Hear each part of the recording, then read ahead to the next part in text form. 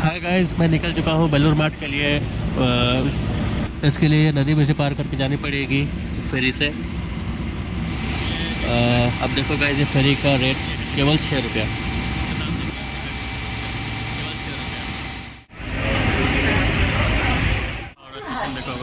ये आ गया जी Howrah station train लोग जा रहे हैं चाय पीने। यहाँ से भाई ने कहा कि ऑटो मिल जाएगा तो यहाँ से हम लोग ऑटो से जाएँगे। देखते ऑटो कहाँ मिलता है।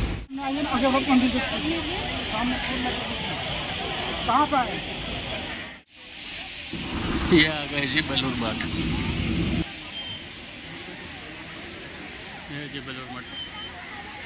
अंदर में लो तो कहीं लिखा है कि फोटोग्राफी नॉट अलाउड बट कहीं ना कहीं तो हो ही जाता